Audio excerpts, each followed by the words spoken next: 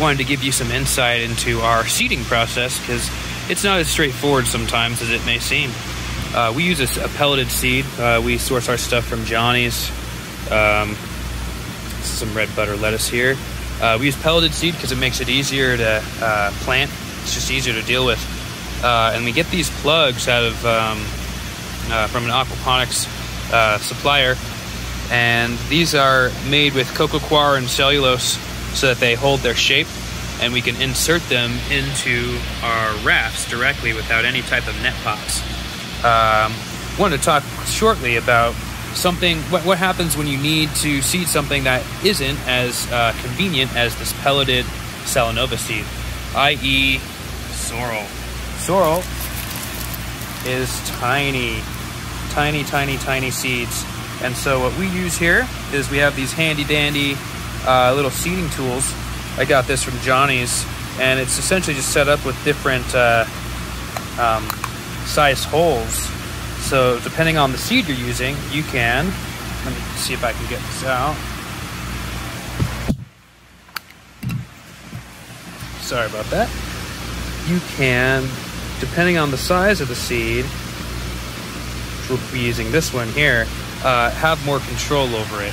So I'm gonna put this all together here and show you what that looks like. So here we are loading this sorrel seed into the seeder here. You can see it's very small seed. You don't need to load too much because we've got enough for this 128 cell tray. So then we got to choose which size hole we want to use depending on the size of the seed. Let's see if I can get this set up here you can see that when you go like this, you get just one seed coming out there.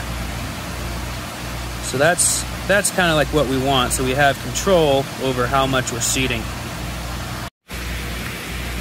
So here we are seeding. It's one of those things that it's pretty simple. You just have to make sure that the seeds are pushed in enough so that when you water them, they're not going to just go all over the place and float with the water off the tray.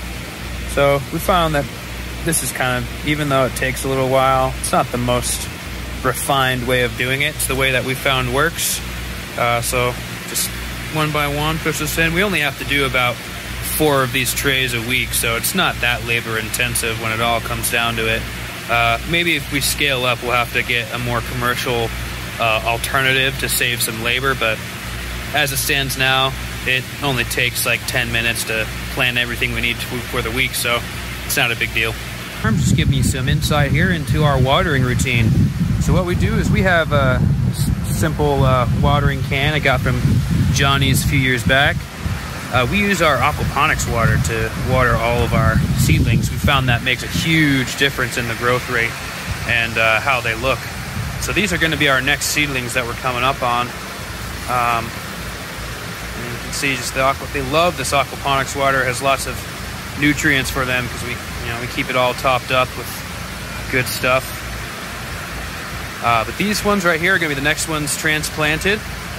Uh, I've got several generations of things here.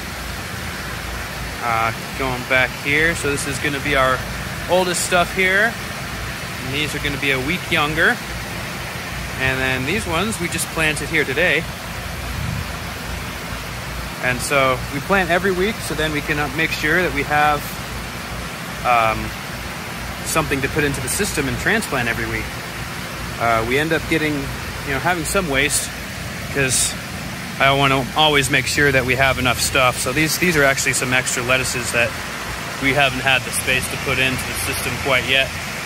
But once we harvest some stuff at the end there, our rotation begins. These go in, and they move slowly down this line here and we cycle through each raft about once a month.